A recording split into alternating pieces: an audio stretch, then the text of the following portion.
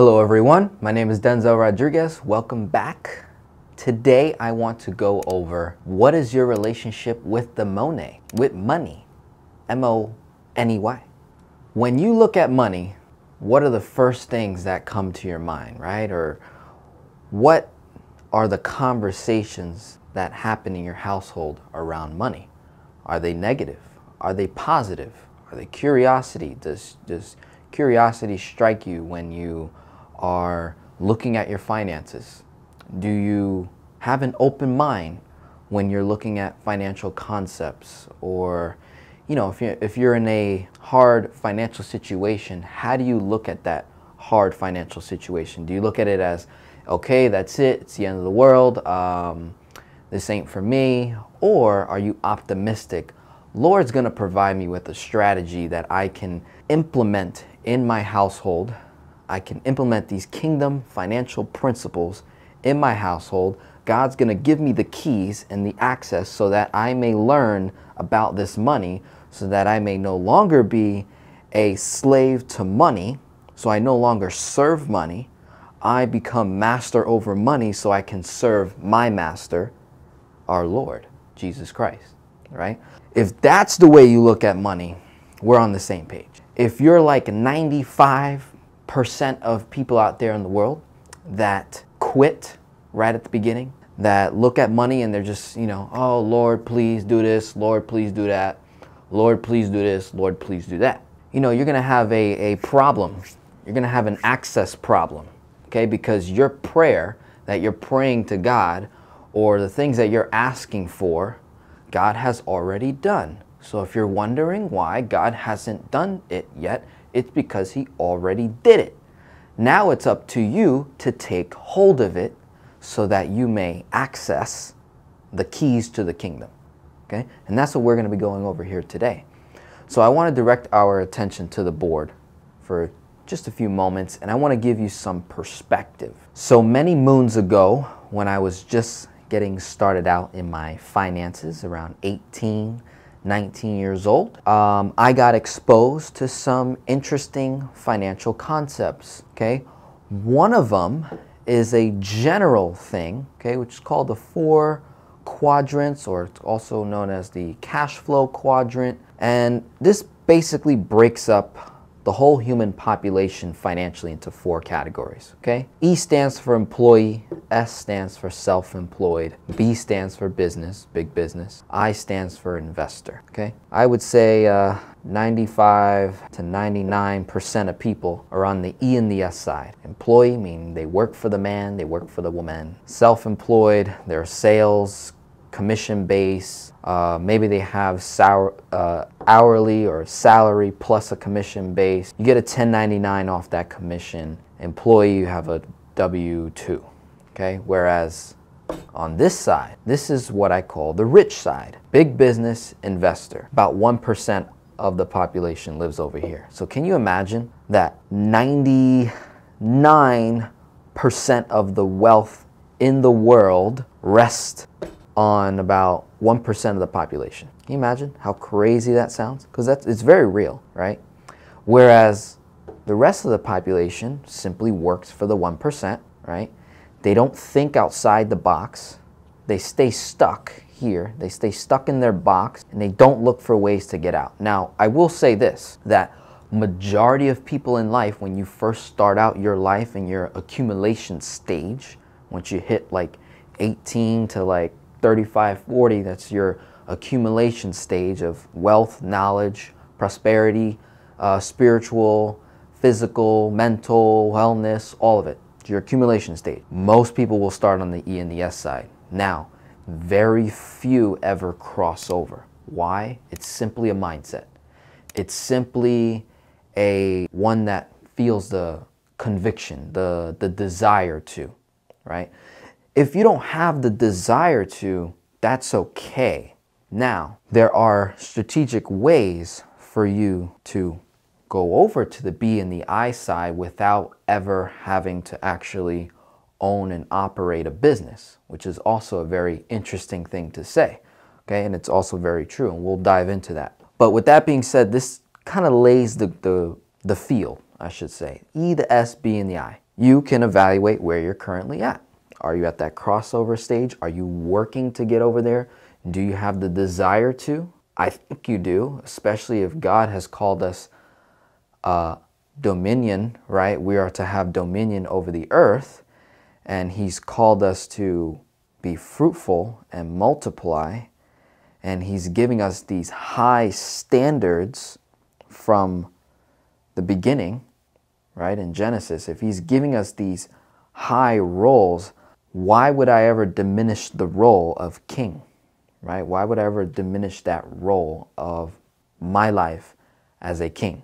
So if I'm a king because my creator told me I'm a king, then I need to start thinking big, not thinking small. Is it bad to think small? Is it good to think small? I don't know.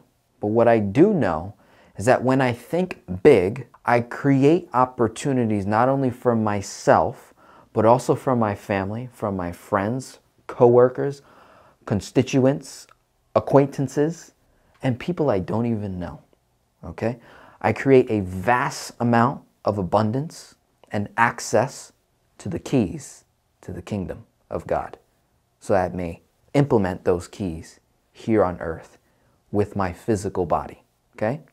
It's all up here in the, in the mind first, then it gets executed physically out here in the world, what you see today. All right? So let's go back to the board. Let's go over my personal financial numbers back in the day when I was on the E and the S side trying to make that crossover, okay, over to the B and the I. What my relationship with money was and how I was, you know, I pretty much just kind of laid out like reality. Okay, what's the reality of my financial situation? Where am I currently at?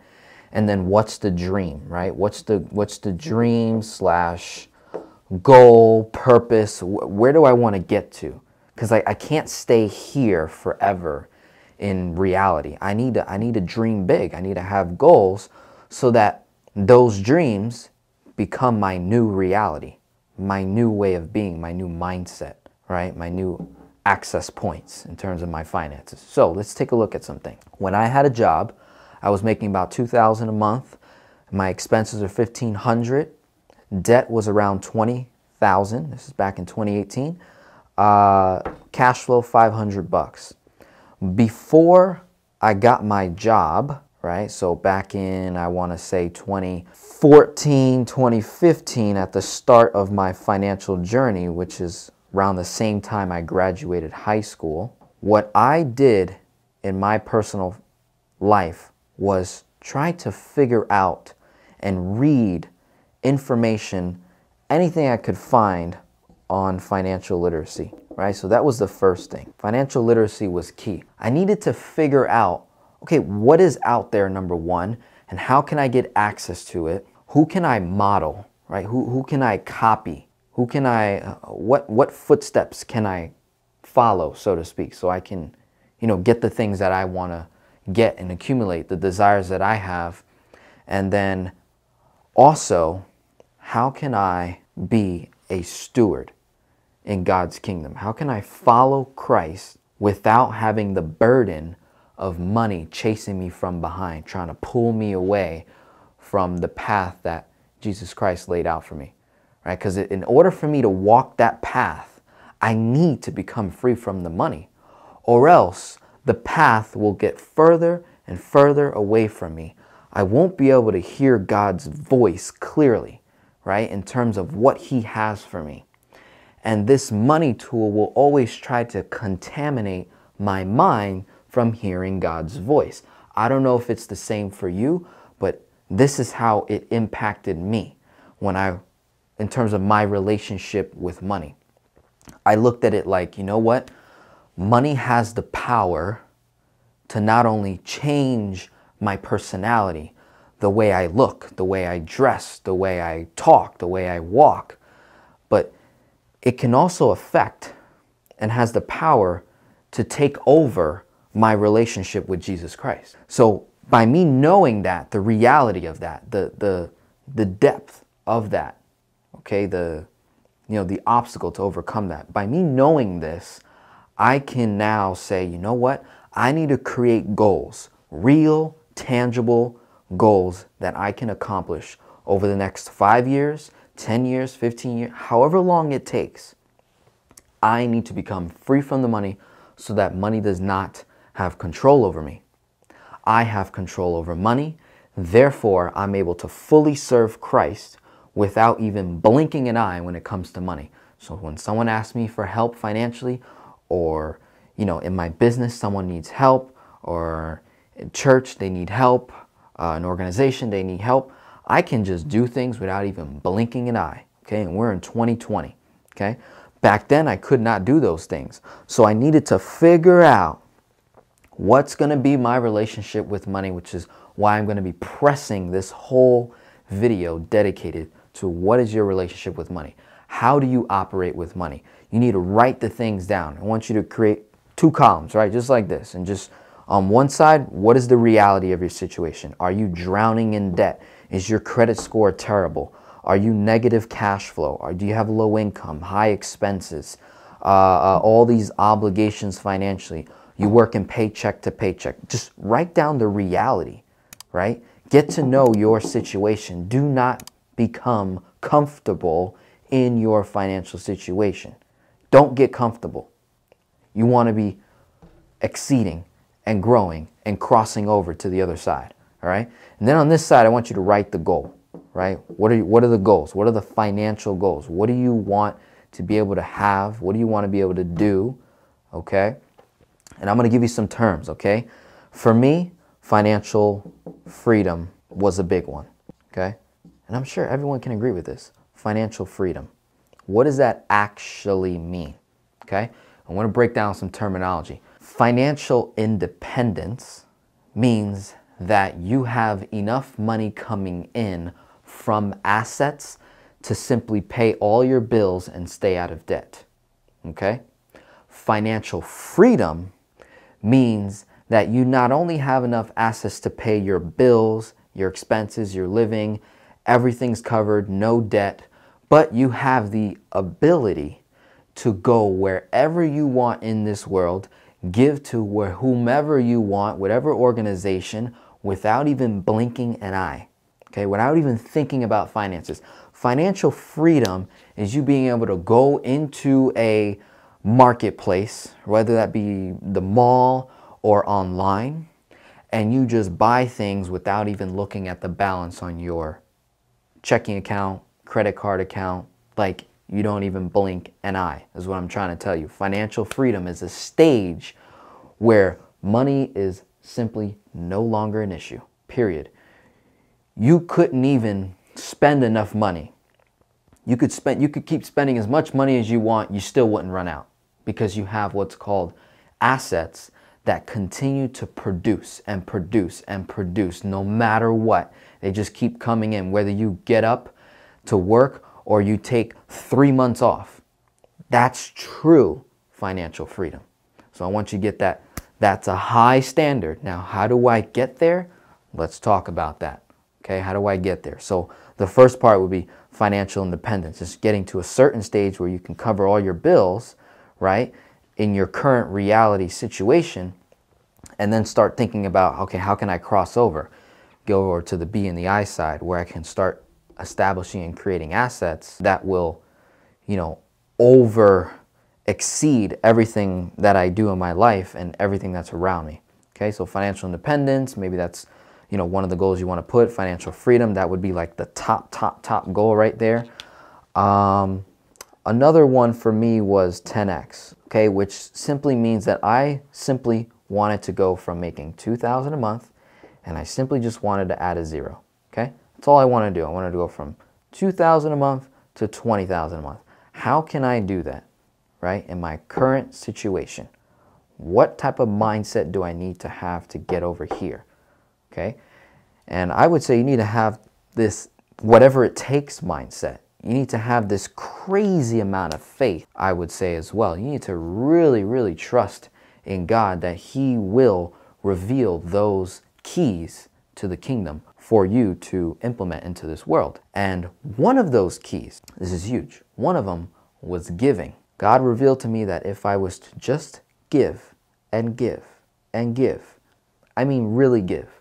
It could be giving time, giving energy, giving patience, giving focus, giving money as well. It's a big one. But just overall giving, truly from the heart. If I can open myself up, God's going to open Himself up as well to me and reveal the exact steps that I need to take in order to get to this side of my dreams and my goals. All right. So during this process, right, I'm, I'm writing down my reality situation. You know, I'm making low income. Let me delete that real quick. So I'm making only 2000 a month. I'm young, expenses are whatever. I got, you know, lots of debt. My, my, my family is low to middle income class. I knew that I needed to get access to this. This is, this is, this was going to be my way out. If I can just learn about the financial, everything else is going to fall in line for me, right? And if I also learn how to give and give generously and abundantly, that more knowledge is going to get, you know, uh, inputted, downloaded into my brain. That's exactly what happened when I was, when I really started giving. God literally Himself started just talking to me and revealing financial concepts through YouTube, through the Facebook, through social media, through books, through any type of material, any type of, you know, uh, workshop or event possible. He was just revealing it to me. Now, I'm sure you can agree that God works through people, right? Whether they are believers or not believers, doesn't matter. He will have His will done, no matter what. No matter who He got to go through, His will will be done here on earth, okay? So, with that being said, by Him, by me giving, He was revealing financial concepts to me that I just started saying, wow, that's that makes a whole lot of sense. Let me let me get into that. Let me let me do that. But he was also saying that hey, your relationship with money's got to change. You cannot rely on money. I am your source. Money is just a resource. So change of the mindset, okay? So we got change of the mindset, giving, looking up financial literacy, anything around financial literacy, just dedicate time, right? So one thing I did was I was like, all right, you know, I'm watching you know, three to four hours of TV and video games, right? This is what I was doing when I was a little bit younger. So I was like, all right, if I just eliminated TV and video games in my life, I'll have three to four hours a day.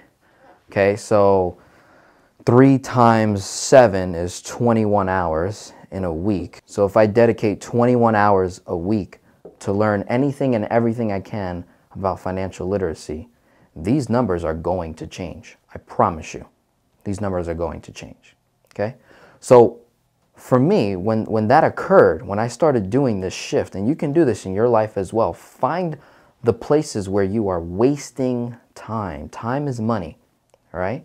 So figure out where are you wasting time and how can you redirect that into financial literacy, financial concepts that you can accumulate, right? And learn and master and then implement them into your finances, okay? So the concepts that were revealed to me, one of them was 10x. Another one was uh, debt acceleration, debt acceleration, um, velocity banking, becoming your own banker.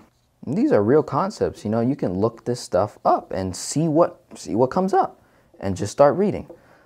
So become your own banker, uh, real estate investing, right? How can I become a real estate investor, right? So real estate investing, let's see, um, creating content. What you see right now, what's going on right now is that I'm creating content to reach the masses. This strategy right here brings in an abundance amount of this cash. Okay? You'd be utterly surprised. Okay? In this world that we live in right now, where everybody is on this, all the attention is right here. So when you look at the world and you look at your relationship with money, you need to figure out, okay, well, where is the money? Because I don't have much of it, right? So if you're working paycheck to paycheck, you have now gone into your, your reality mode and you're like, all right, I don't have access to money. Where is the money? Who's got my money? Where is it? How can I get closer and closer to it? What jobs, what careers, what business, what product, what service, what marketplace can I get into? What, can, what knowledge can I learn? What problems can I solve? The more problems you solve in life, the higher that income will go. Your ability to solve problems will correlate to how much money you make, period. So if you're making little money in this world, you're probably not solving a whole lot of problems, okay? Very simple, okay? Not trying to offend anyone. But sometimes we have to get real down to the point. If you want more in life, the number one tool you will need is money, okay? I'm not talking spiritual tools. I'm not talking faith tools. I'm talking logical, tangible tool, money. The faster you learn the money, the faster you become free from it. Therefore, it has no chain on you. There's no bondage, right? The more I can be a faithful servant to Christ. That is the way I am correlating it right now. I'm young, I'm 24, got a lot to learn, got a lot to give. I'm going to make mistakes. I'm entitled to make mistakes.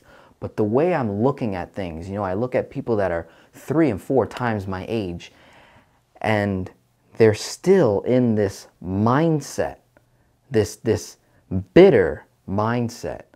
Ah, ah, rich people are, ah, ah, ah. like that's, that's all I hear. Are you providing a solution to the problem? Are you providing a strategy that I can do as a 24 year old that's to, you know, not put me in the same position that a 59 year old would be at where they can't retire, they don't have enough in their retirement account, and they got to go back into the workforce, do something that they don't want to do, and get paid minimum wage for it. I mean, this is, this is embarrassing stuff. Too many of us in the United States where you have the greatest opportunities in the world are doing this poorly. So this goes back to what's your relationship with money? I'm gonna keep pressing on that. What is your relationship with money? What are you going to do to get to the other side? The B and the I side, right? Because that is where it's at in terms of the marketplace, where the money's at, how you get more, accumulate more, and keep more, right? The fact is that there is a cap in terms of the E and the S side. There's a cap to how much you can earn, right? Which is your ability to put in the amount of time. Well, there's only 24 hours in a day, so you can only work so much. Whereas when you start getting over to this side, the B and the I, you start accumulating assets, right? And these assets are performing exactly the same to you, or if not better, to your work, right? So it's multiplying your time. And when you combine these different strategies, right, and you put them all together and you find the one that you that fits best for you, you're able to then go ahead and proceed in life. So, with that being said, hope this was very helpful to you. I want you to, you know, really dive into this take a lot of notes. I mean, get really, really serious with this. I don't care if you're 50, 60, 70 years old. You have so much time left. It's not even funny. For those of you that are in your late 50s, 60s, and even 70s, if you knew that you were going to live to be 95 years old and you're 60, you've got an additional 35 years left in your tank to start making some serious financial changes in your life so that your heirs can have a prime example to follow, a model to follow, right? This way, we millennials don't look towards the idols of the world that we put on huge pedestals, right? The actors and the models and the people on TV and the, and the huge uh, sports stars and celebrities and things like that. Like, when you look at the back end, and you look at the stats of how fast an actor, actress, a celebrity, a pro athlete will go broke after retirement, it's insane. It's insane. The stats, they're, they're terrible. So it doesn't matter how much money you make. It's all about what you keep And it's all about the relationship that you have with money. If you have no relationship with money and, the, and you stop working, guess what? The money stops with it. And eventually you'll run out. Eventually you'll run out, especially if you retire at 59 and a half and you think you have enough to retire on from what you've accumulated during your beginning years and then come to find out, oh shoot, looks like I'm going to live till I'm 99 years old, 95 years old, and I'm going to run out of cash. Now that's no good, right? So we need to step up our game, all right? For the millennials, people my age, you're in your mid 20s, early 20s, you didn't even breach 20 yet, or in your 30s, listen, we have a lot of field. We have a lot of field to cover, okay? We have a lot to do, a lot to get done.